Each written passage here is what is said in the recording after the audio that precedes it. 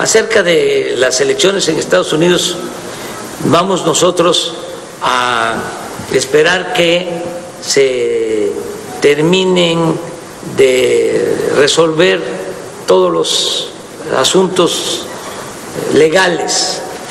No queremos eh, ser imprudentes, eh, no queremos eh, actuar a la ligera y queremos ser respetuosos de la autodeterminación de los pueblos y respetuoso del derecho ajeno.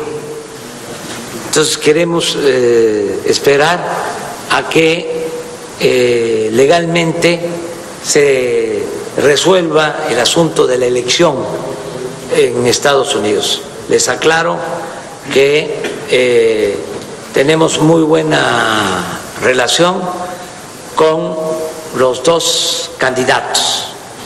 El presidente Trump ha sido muy respetuoso con nosotros y eh, hemos eh, logrado muy buenos acuerdos y le agradecemos porque eh, no ha sido injerencista y nos ha respetado. Y con el candidato Biden eh, lo mismo, lo conozco desde hace pues más de 10 años que nos entrevistamos le presenté una carta eh, dándole a conocer el porqué de nuestro movimiento, de nuestra lucha.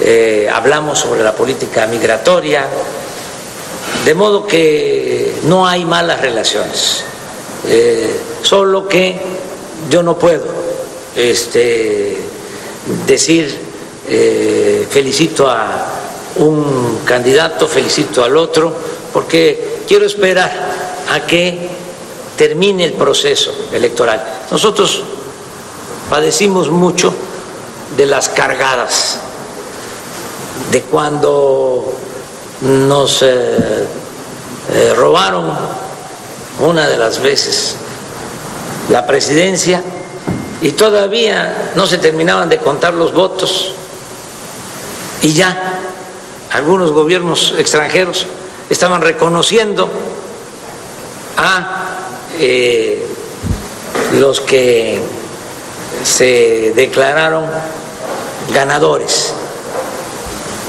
Eso fue lo que pasó en el 2006.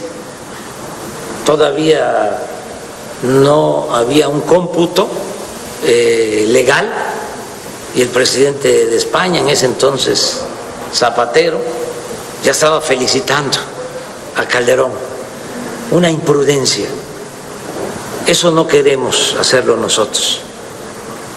Además, eh, el respeto al derecho ajeno es la paz. Entonces, eh, terminan sus procesos, este, se resuelve quién triunfó y en ese momento nosotros eh, damos a conocer nuestro reconocimiento. No tenemos eh, pleitos, también lo quiero aclarar, con ninguno de los dos candidatos. Nada más es un asunto de urbanidad o de decencia o prudencia política eh, para eh, esperarnos y en su momento hacer un pronunciamiento, tener ya una postura sobre este asunto.